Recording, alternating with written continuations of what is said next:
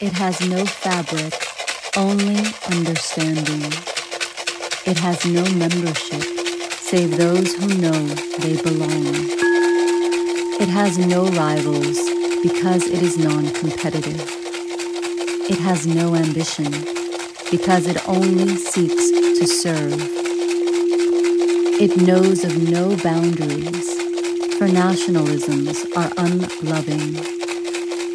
It is not of itself, because it seeks to enrich all groups and religions. It acknowledges all great teachers of all the ages who have shown the truth of love. Those who participate practice the truth of love in all their daily being. There is no walk of life or nationality that is a barrier. Those who are, know.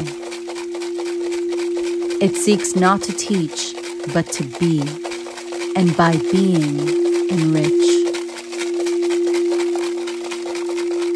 It recognizes the collectivity of all humanity and that we are all one with the one. It recognizes that the way we are may be the way of those around us because we are that way.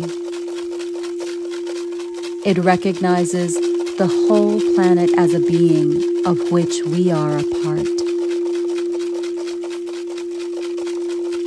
It recognizes that the time has come for the supreme transmutation, the ultimate alchemical act the conscious change of the ego into a voluntary return to the whole.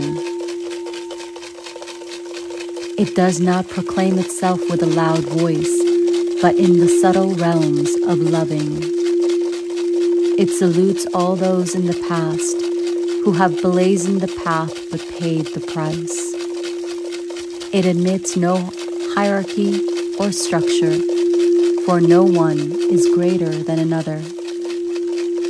Its members shall know each other by their deeds and being, and by their eyes, and by no other outward sign, save the fraternal embrace. Each one will dedicate his or her life to the silent loving of their neighbor and environment and the planet, whilst carrying out their daily task, however exalted or humble. It recognizes the supremacy of the great idea, which may only be accomplished if the human race practices the supremacy of love.